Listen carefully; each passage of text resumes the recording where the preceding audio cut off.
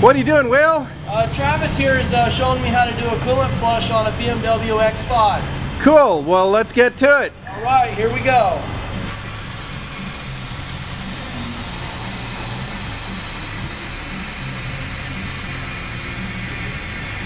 Well, that old coolant looks pretty dirty. Yes.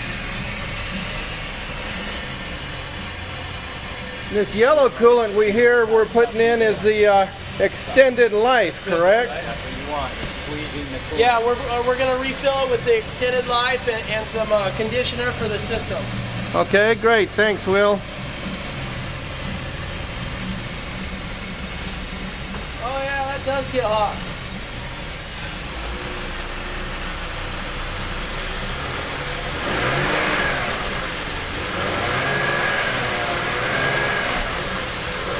Yeah, that, that old coolant is really dirty.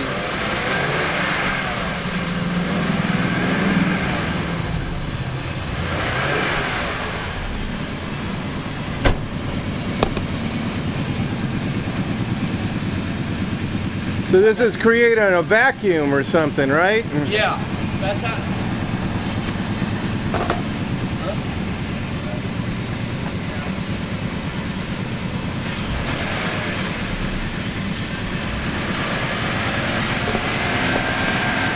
So as I understand it, this is better than just a drain and fill. It gets all of the old stuff out and puts all clean new stuff in. Yes, sir.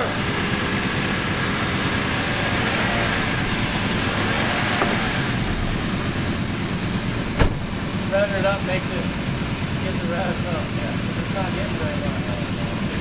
It's. Dirty brown. Clean yellow.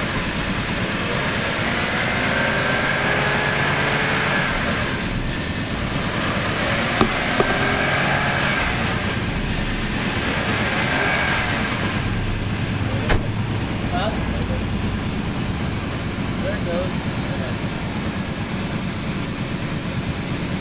So, now, can I put that stuff in the top of the phone?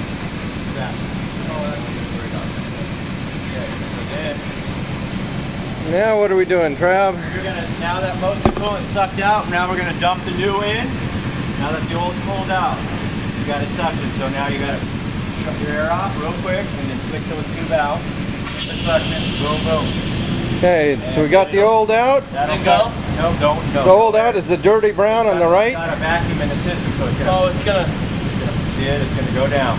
and the left is the new yellow extended Yep, life. There in. she goes. And your hoses should come back to a, don't release that so your hoses are fully back to normal. Oh, okay. Yep, and it's gonna, it's gonna go right to the top.